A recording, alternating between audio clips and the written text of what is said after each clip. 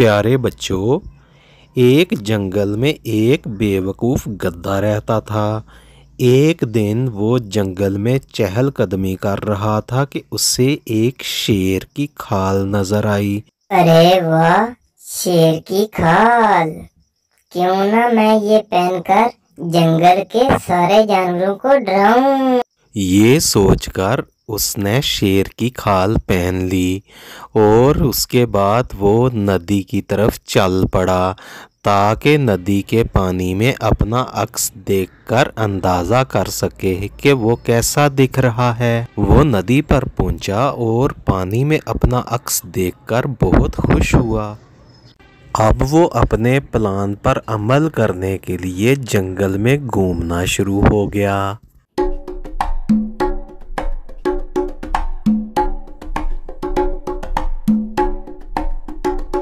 उसे घूमते हुए एक खरगोश ने देखा और खरगोश की तो सिट्टी ही गुम हो गई।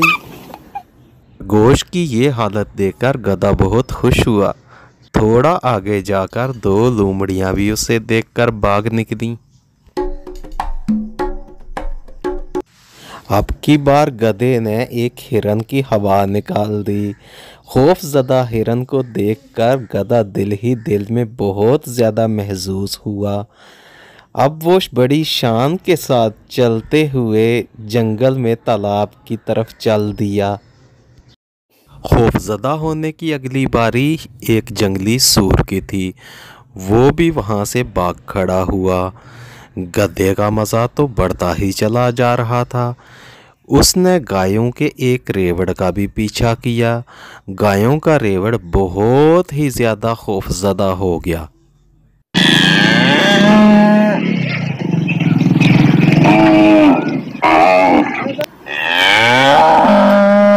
अगला दावा उसने बंदरों के इलाके पर बोला, बंदर तो इतने खौफजदा हुए कि वो दरख्तों पर चढ़ना भूल ही गए और वो ज़मीन पर ही भागना शुरू हो गए।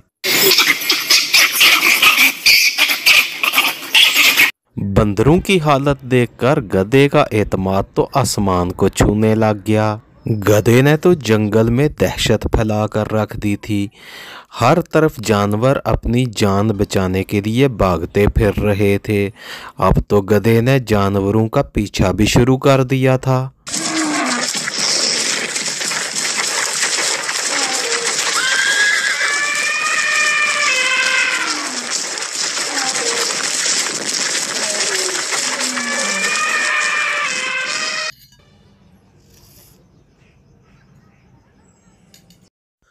जानवरों का पीछा कर कर के गधा थक गया और उसे भूख भी लगी थी। एक तालाब के किनारे बहुत प्यारी घास देखकर गधे से रहा ना गया और वो घास खाने लग गया। इतफाक से उसे घास खाते हुए साथ वाले जंगल से आई हुई एक लूमड़ी ने देख लिया।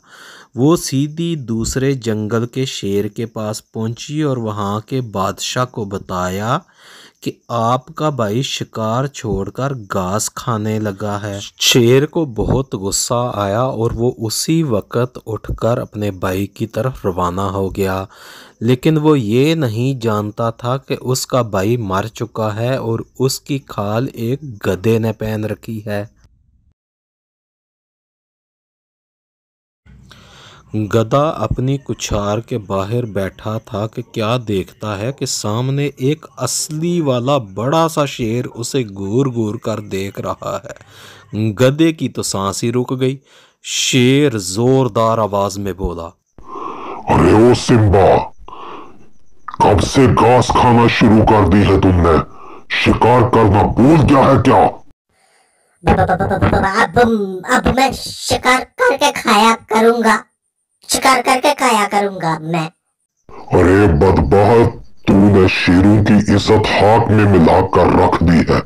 और ये क्या बे बे बे बे कर रहे हो? क्या तुम में शेरों वाली कोई भी आदत बाकी नहीं बची?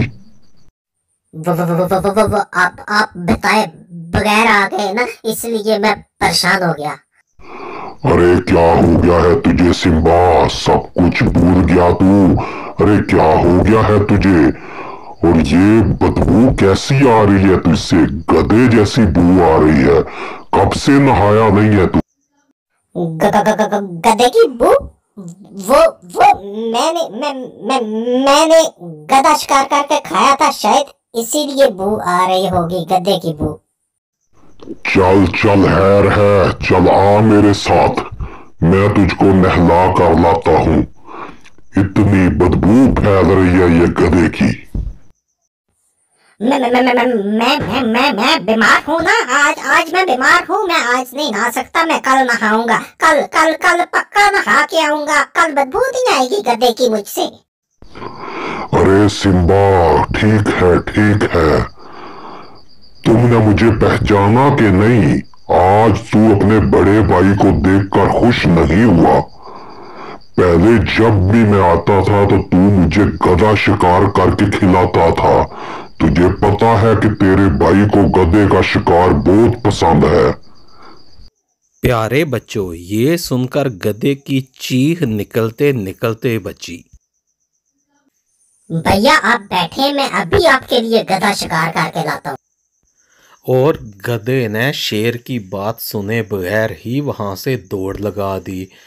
थोड़ी दूर जाने के बाद उसने शेर की खाल उतारी और एक तरफ़ को भागना शुरू कर दिया।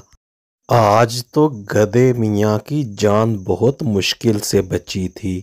उन्होंने अपनी ज़िंदगी में शेर और मौत को इतने करीब से कभी नहीं देखा था। प्यारे बच्चों, इस कहानी से हमें दो सबक मिलते हैं।